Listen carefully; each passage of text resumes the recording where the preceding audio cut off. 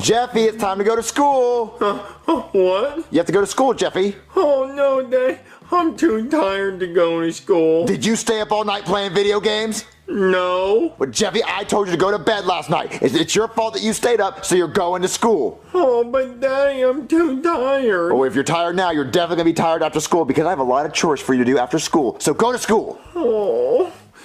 Go.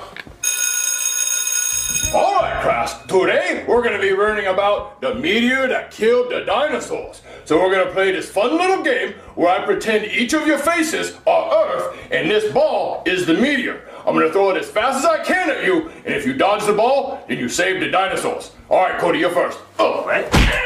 Got his ass! Looks like the dinosaurs are dead in your world, Cody. Junior, you're next. Oh.